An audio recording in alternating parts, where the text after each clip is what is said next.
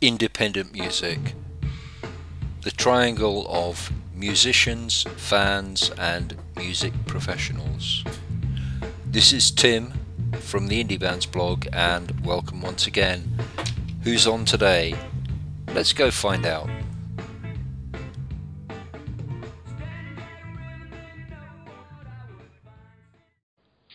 Indie Music Tips number 17, talking about promotion with Corey Koehler of Music Goat. Hi, Corey. How you doing? I'm very well, thanks. Thanks for sparing me the time. Do appreciate it. And promotion, that's a, that's a fairly broad-ranging topic, but uh, one thing that'd be quite interesting to talk about, which really does sit in with one of my bugbears, which is having your own uh, internet website, uh, email marketing. How does that work, and what's the advantages of that? Well, like you know, like kind of like we were saying, um, we talked about before the show. Just we both agreed that you know it's extremely important to have your own website. I mean, it's great. I mean, you got to think of your website as kind of like the hub. I mean, sure you can go on Facebook and MySpace and you know fill in the blank, social network, Twitter, whatever. Yeah. But I think everything needs to funnel back, you know, to your website. Um, mm-hmm. There's there was a lot of horror stories from you know the early 2000s, like when MySpace kind of went downhill you know, all those people spent all that time collecting all those people, you know, to yeah. be fans. And then what happened? MySpace is no more. There's nobody there yeah. anymore. So it was like just a big waste of time. But if you would have had an email list, you have those people forever, you know. So, um, so yeah, so that's that's when I started thinking about it. Um, I had a bad experience on another um, website that I was doing. I wasn't collecting emails, and I had, you know, and I just had a sinking feeling after a while that I I missed a huge opportunity, you know, and so I've kind of been kind of a prophet, I guess, of email for, for, for yeah. since. Now, like now I'm all hardcore about it because it is. It's true. I mean, that's the most important thing you want to do. Wherever you uh, have your music, you want to make sure that there's a way that brings them back to uh, a landing page or um, a website, which is specifically trying to get them onto an email and you know, and then that way you can contact them you know, anytime, you know, and you can start sure. building a relationship with them, et cetera, et cetera. So it's just really important, I think. The advantage of, a, of an email marketing uh, list is, is in some ways quite evident to, to someone like yourself who's been in the uh, internet marketing business for a long time, but it's not necessarily evident to everybody. Okay, so I've got an email address, and what do I do with it?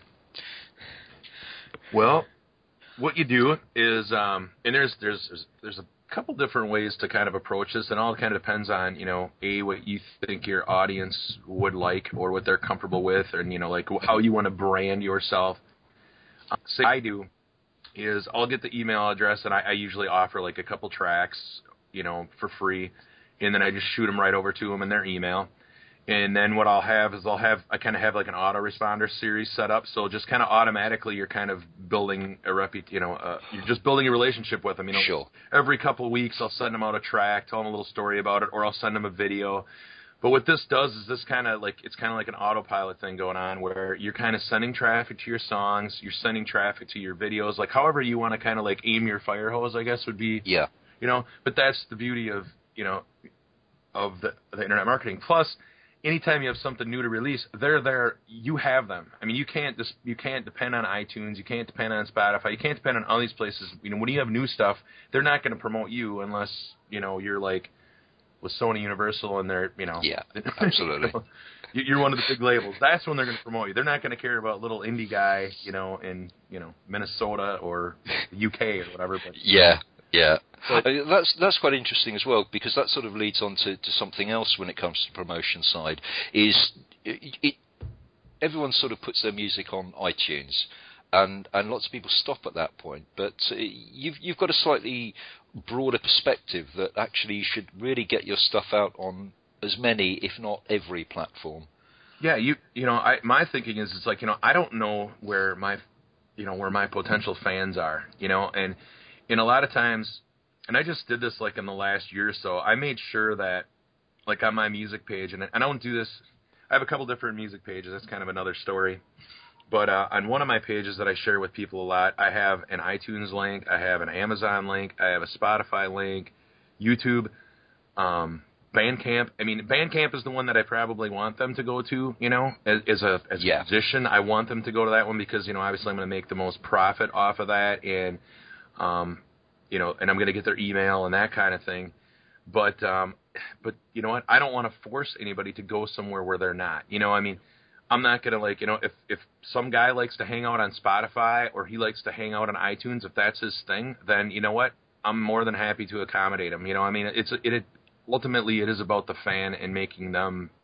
Um, you know, you don't want to make it difficult for people to get your stuff. You don't want to make it difficult for anybody. You know, I mean, so so my thing is to be available everywhere. You know, and granted, yeah, sure, sure, I'm not going to get paid as much over on Spotify as I would if somebody comes and, and, and gives me like, you know, a couple bucks for a name your price on my Bandcamp. Yeah. But, you know, you got to think of other stuff. I mean, at least they're listening to you on Spotify. Um, you're going to show up in their playlist over there. You're going to probably show up to the, on their friends' pra- playlist. I mean, you know, streaming's a whole nother conversation, but um, but really, it's just anywhere they want to listen to your music, I'm happy to be there for them. You know, and it's like mainly I want them on the email, uh, you know, list, but hey, you know, you got to get them any way you can, and it's Uh, yeah, uh, absolutely. Uh, obviously, one, one of the other advantages of, of Bandcamp is that you do pick up their email address, uh, which it's a conundrum when you start getting onto other platforms,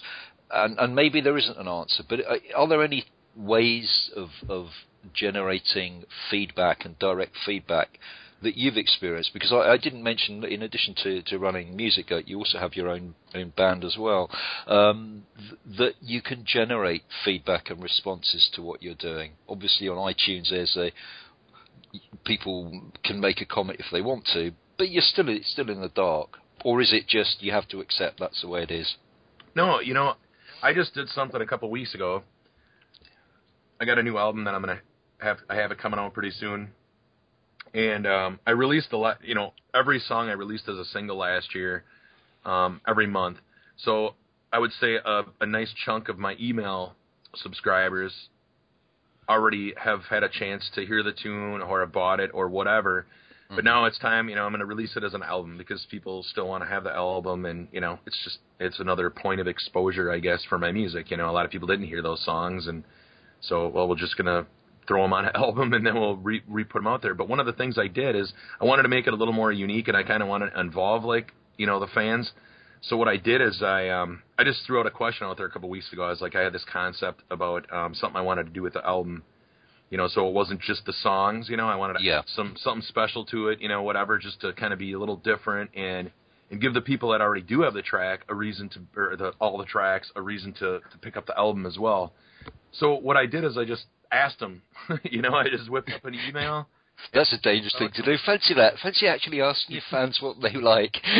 Yeah, and that's what I said. I'm like, hey, you, um, you know, and I've got hundreds and hundreds of people on my web on my on my email address. So I mean, it, Yeah. I, it, I spent the whole morning, you know, replying to everybody and thanking them for their input. You know, I mean, there's a lot of different ways you could do that, but yeah. but I'll tell you what, I mean, it really gave me a perspective. It really helped me to get to know what people on my list like. You know, they I, some of them, you know, it turns out that um, half of them thought it was not a very good idea, and half of them thought it was a good idea. So what that did is it, it kind of made me look. You know what? Maybe I can accommodate both. You know, and it kind of Yeah. kind of turned it into a.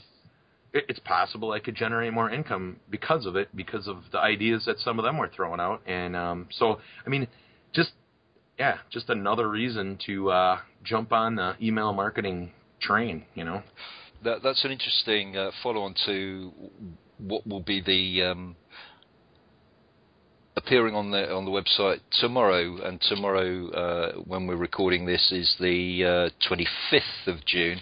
Uh, is an interview that I did with David Wimble, and he was talking exactly about that point. Is about evolving through feedback. And I guess that, that by having the email marketing list, you're actually in a position to, to directly communicate with your fans to get that feedback that, that helps you decide what to do next and where to go next. Yeah, you know, and and it, and it all starts too with um, one of the things like when when you would sign up for my email list, for instance, um, the first thing I do is I just send like a welcome email. It's got like a it's got like a zip file, and, and there's a bunch of different ways you can send your free downloads. I mean, Mm. it's ultimate unlimited ways. I'm sure everybody's got their own style, but I just send them a zip file with the actual MP3s in it. I welcome them. But then what I do is like about a day later, um, I'll send them an email just personal, like from my personal account. I'll just say, hey, you know, thanks for thanks for getting on my mailing list. You know, um, I really appreciate it. I hope you're liking this the music. Um, if you have any questions or comments, you know, I'm right here. Just uh, hit reply, and um, you know, and I'll tell you what, um, not everybody replies back to me, but I would say a good quarter, you know, 25% probably do. And it's interesting because you learn where they're from, you learn where Yeah. they're at, what other what other artists are they listening to, you know, and I mean that's a big thing. Um, you can always mark, you know, I found out a lot of bands that like they're like, oh, you're just like so and so, or I listen to a lot of this. So now y that kind of opens up like a whole new marketing um, uh, frontier for you, I guess would be the. It, it probably also helps uh, again with something else that, that we've covered in the series, which is, is putting tours together. It might give you some ideas as some bands to connect and say, hey, look, we've got a similar kind of fan Yep. base. Why don't we do something together?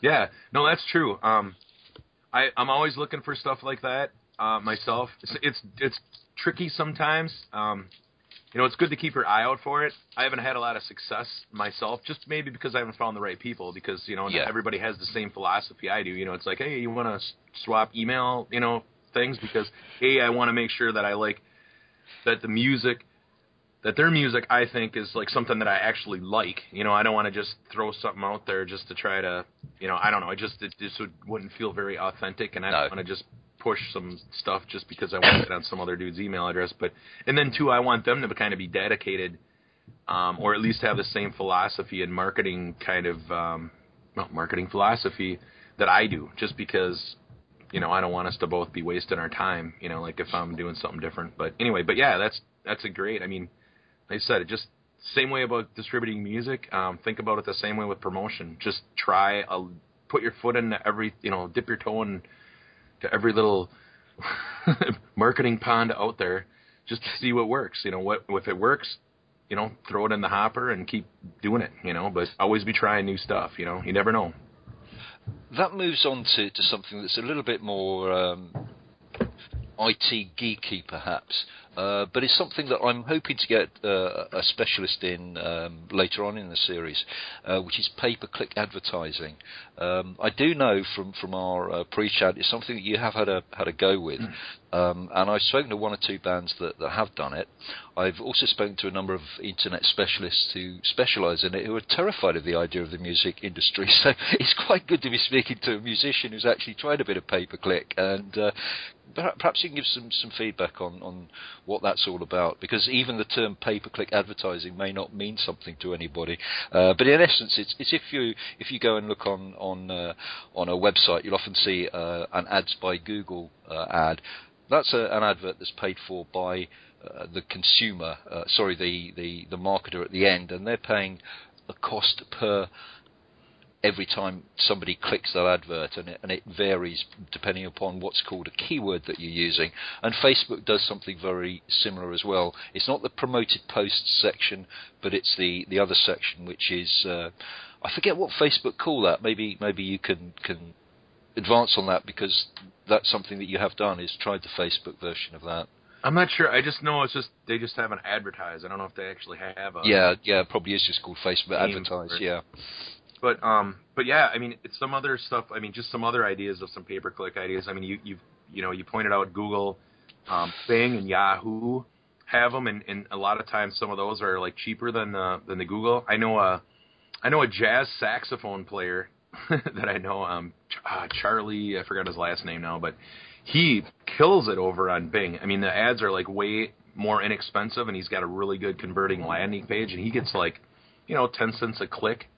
You know, Mm. he's been doing stuff, and he gets a nice little fan base built out of that. But he's in a really niche kind of a kind of a music. You know, it's not Yep. necessarily a popular music; it's just a jazz. So he can really fine tune his his advertising. But um, but there's uh, there's so many places out there to do pay per click. Um, I- I, think that, that what you what you I think what you said there is, is, is very important because one of the, the aspects that, that perhaps put, pe- put does put people off the idea of pay per click advertising is oh my god I'm going to spend a fortune here. Yeah, if you, if you want to, to put something like indie band as your title, that's going to be a very competitive yeah. keyword, and and the advertiser's going to say, well, you're going to have to pay a lot of money for that word.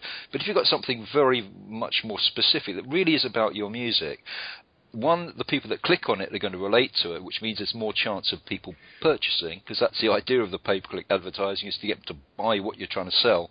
Um, but equally, because it's a more specific and niche keyword, uh, it's going to cost you less to, to, to have that. Yeah, you know, a, a good example of it maybe just this is just off the top of my head, but um, a good example would be, you know, say you're you're like an indie punk band. You know, I mean, look at some of the you know the bigger punk bands, and maybe even better, maybe some of the punk bands that are kind of under the radar that not a lot of people know, but they have a pretty strong fan base. Kind of a, I mean, that would be something that you might want to bid on. You know, like hey, hey, fans of uh, you know Black Flag, you know, you'll love. You'll love us if you know check us out or whatever you know I mean you could you can just specifically target all your ads right to those people because I mean they're going to be more likely to like your stuff if you kind of fall into that that niche, you know. So, mm.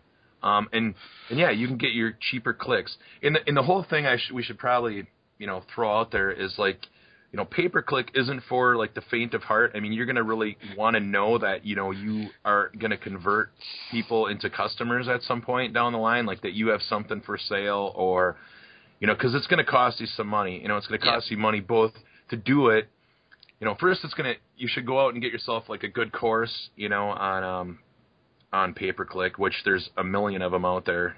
you know, like a, yeah. a, a Shoemoney comes to mind. I I think he's a good um, beginner kind of a guy to learn from. But um, but yeah, you want to learn how to do it first of all. So you're going to want to invest a couple bucks in just learning about it, and then after that, you know, it's it's going to cost you money to get rolling and to figure stuff out. But you know, if you are willing to invest some money you know, eventually you could be killing it. You know, I mean, if you really kind of tighten everything up and you find like the right the niche or the right people to add, you know, add to, and you get your ads all. I mean, you, you can really, you can do some damage. You know, I wouldn't say I'm there yet, but I, I, think it's quite interesting from the from the perspective of Facebook. I know people slam Facebook a lot, and, I, and I'm I'm uh, along with everyone else on it from time to time. but one of the very good things about Facebook uh, pay per click is you can really target your audience. Yeah. And going back to the to where we started off from, which is getting to know your fans through your email marketing base, you'll know who they are, what kind of music they like, probably their rough age. You'll know their sex you can target all of those things on a pay-per-click advert in uh, in Facebook, which means that you're targeting the people that really do like your music, in theory. Well, I'll tell you what. Um, you know, this this brings up an interesting thing. I did a post a couple of weeks ago that I learned from a friend of mine, um, John Oszajca, Music Marketing Manifesto. You guys might like him. I'll throw a plug out there for him. He's a good guy. Promote his product or whatever. But he had this idea um, a couple months ago where they Facebook started offering this um, feature in their in their advertising area, the pay per click. And what it does is it's like it's called the lookalike audience. Mm-hmm. And what you can do is if you have an email list, you know, obviously these email list people are you know they're your fans, they're going to like your stuff. Well, what you could do is you could export, you know, their emails and then import them into Facebook, and Facebook will build a profile based on everybody that's in the fa- in in the Facebook. You know, whoever's got a Facebook profile, they build a profile just specific to the email addresses that you put into the that you put into the advertising system or right. whatever you call it. So you can actually automate that process itself, so you yeah. get a targeted uh, base. That's great. Yeah, I'm actually we're I'm actually playing around with that right now, and it, it's it's interesting. I I took all the people that because what I do is I kind of filter out my email address or my email list. Like I'll have mm. a there's kind of a couple different tiers the, you know, there's all the people that just got on there and they're, you know, they're getting my free tracks and they're getting all my autoresponders and, and anything else that I kind of mm-hmm. send to them. But then I have like another le- level. I just, they're kind of like my VIPs, you know, I don't yeah. call them that, but they're, they're the people that buy stuff from me either once or on a regular basis. And I kind of have them segmented. And what I did is I took them and I just made the profile in the Facebook, you know, they made a profile just based on those people. So I was able to take the people that are most likely to yep. buy my stuff, or I did buy my stuff, and then Facebook took all those and then just built the profile. Like, okay, this is what that person looks like, and then now I use that to to make pay per click ads. Yeah. I'm advertising to the people that are most likely to buy my music. You know, if I didn't have an email address, I mean, an email list, I guess that wouldn't even, you know, I, I wouldn't even be able to do that. But no, now, no. now you can. I mean, so, you know, just something to think about. Yeah, You know? I'm, I'm I'm glad that we pursued uh, pay per click and, and, and appreciate that. And and thanks for, for the ideas that you've thrown out there because they are all really really important. Now, what about uh, Corey? Corey Koehler, and, and I, I'm glad when I looked on your website it told me the correct way to pronounce your surname Yeah. because I'm sure I pronounce it the way that everyone else would do on reading, which is Oh, yeah. Kurler. But anyway, it's Corey Koehler and Music Goat. What, what's what's Music Goat when it's at home? Um, what does music go when? I'm sorry, what's that? Like, I- what's Music Goat all about? oh, what's it all about? Oh, okay. Or sorry, maybe yeah, just- these English these English uh, phrases. yeah. It was like a, it was like a boot, you know, and I was, uh, that's all right. Um, no, really, I just uh, it's kind of morphed over the years. I started out um, before I was a musician. I just kind of was. I was just a music fan, and I just did reviews. I did podcasts, and I just talked about music, you know. And um, I just noticed over the years, for whatever reason, I just started getting a lot of. Uh, I just started chit chatting back and forth with other artists that you know, like that maybe that I was reviewing or that wanted me to put their stuff on there, and then eventually it's just like, you know what, I'm just gonna kind of turn this into a kind of more of a forum where I could just, you know, like here's what I'm doing to promote my own music, and then once I started throwing a few posts out there, you know, people were really receptive to some of them, so I just kept on posting them, and then I started getting some guest posters. You know, like I was telling you this morning about the lawyer that came on there and did like a piece on copyright law, and you know, it's just kind of it's kind of interesting. It's just more of like a place where you know, just I just wanted to hang out with musicians, um, share my ideas, and if anybody's got something to like throw back at me, you know, I'd more than willing to listen, and just just so we can all get better at doing this stuff because there's not a lot of a lot of people don't share their advice necessarily. I I've kind of found that like you know, you can't just go up to like a promoter for like some big artist and say, "Hey, what are you doing right?" You know, and it's like unless they have like a vested interest in your success, many times they're not gonna they're not gonna tell you anything. You know, so kind of when you think about it, um, you know, as like indie artists, I guess we're kind of on our own. You know, and it's so it's like Yeah. we might as well stick together. You know, and that's kind of what Music Goat is all about. I mean, I'm kind of learning on the on the on the run, but uh, you know, but yeah, when I got ideas or stuff that I found that works or whatever, I try to try to post it on there and let everybody know about it, and then I open it up for other people, like like like you even if you wanted to do a guest post or a guest video or something like that. Um, you know, whatever. We'll just uh, throw it all at the wall and see what sticks. You know. I will put up the link to Mus- Music Goat as well as the uh, the links to uh, to the other sites you've that you've recommended along the way, particularly uh, in relation to a little bit about email marketing and marketing in general, and the pay per click side. So, really appreciate your time, Corey. It was uh, it was great to speak to you. We've, we've exchanged often on. Um, on Twitter, but finally being able to have a chat has been uh, been great. Thanks for that. Yeah, no problem. Thanks for having me. It's cool. It's always nice to talk about this stuff. I'll speak to you again soon. You take care. All right, you too. Cheers. Finishing with Nowhere to Go by the William Street Strikers, which is the introductory track to the Indie Music Tip series.